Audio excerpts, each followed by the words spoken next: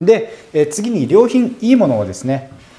え選んだらですねやっぱり保存方法これもしっかりしたいなということで、えー、まあ一つ目ですね洗って、え、保存袋に入れてまあ水気ももちろん拭き取った後に冷蔵庫に入れると。でえっ、とまあヘタ側頭の方これを下にするといいかなというポイントがありますね。で2つ目連なった、えーと、茎付きのものがあります。あのまあ、ヨーロッパでは結構あの連なった状態で大きいトマトもミニトマトも売ってるんですけれどもえこの場合ですね中心のその茎の部分これからは外した方がいいですね。ヘタはまあついててもいいんですけれどもえ中心の茎の部分えここはえ取った方がいいです、まあ、どんどん水分えそこに集約されてしまうので、えーとまあ、比較的トマトがですね、えーと、栄養とか水分真ん中に取られてしまうのでで蒸発していってしまうので取った方がいいですよと。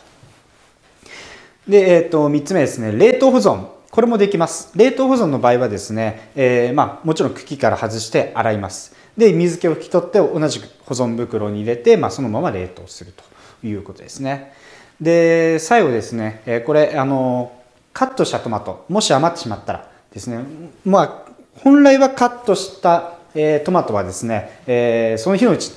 食べてほしいんですけれどももし一晩こすようなこととかあるのであれば断面をですねラップに密閉して全体を包んでですね同じく保存袋に入れて冷蔵庫にしまうというところですね。はいまあ、できるだけ、え